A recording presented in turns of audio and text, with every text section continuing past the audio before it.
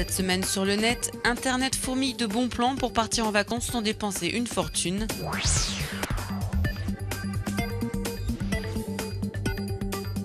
L'hébergement alternatif chez l'habitant devient de plus en plus tendance sur le net. Les sites se multiplient et répondent à une réelle demande des voyageurs, à la recherche d'authenticité et de véritables échanges. L'effet crise explique aussi le succès de cette nouvelle forme de tourisme.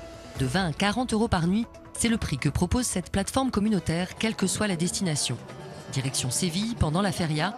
Bodji est française et c'est la première fois qu'elle utilise Internet pour ses vacances. Elle est accueillie par Raquel, qui va lui faire découvrir la ville. Raquel, elle va, elle va me montrer des endroits, des lieux, elle va me balader, elle va m'emmener dans des lieux typiques. En plus, moi, je voyage seule, donc euh, bon, rencontrer des gens, c'est pas très compliqué, mais enfin, euh, quand on parle pas bien la langue, etc., d'être directement euh, en lien avec quelqu'un qui est du pays, c'est chouette. Et c'est ce qui m'a intéressé dans, dans ce site, c'est cette option. Effectivement, en plus, c'est pas cher. c'est clean, voilà. Le co-hébergement favorise les vraies rencontres et pour Raquel, c'est aussi un complément de revenus non négligeable.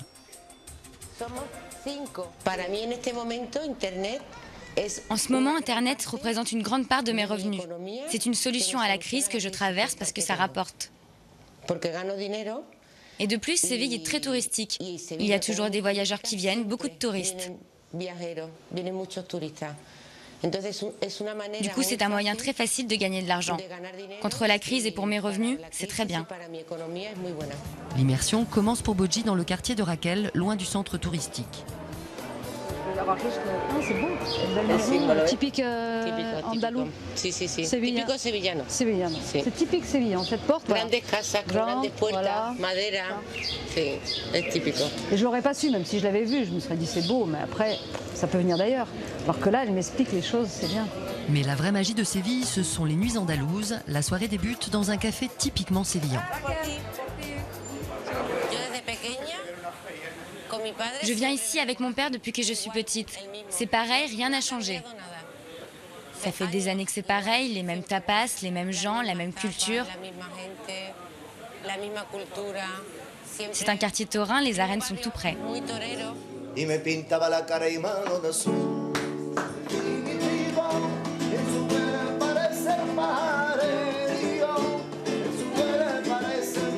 Quelques années, Bédicasa est devenu l'un des sites leaders de ce marché émergent. Créé par une jeune blogueuse passionnée de voyage, il regroupe aujourd'hui une communauté de plus de 100 000 personnes et propose 16 000 logements dans le monde entier. Aujourd'hui, sa fondatrice Magali fait toujours le tour du monde, mais c'est pour rencontrer les hôtes des voyageurs.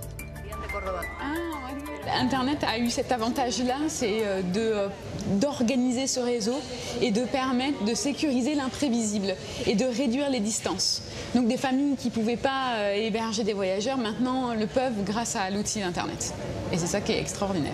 Il est clair qu'aujourd'hui, on n'est pas dans un- une mode, on est dans une tendance et c'est plutôt même un mouvement durable parce que on est en recherche d'alternatives, parce qu'il y a la crise la crise n'est pas prête de s'arrêter et, qu'on est aussi en recherche de reconnexion.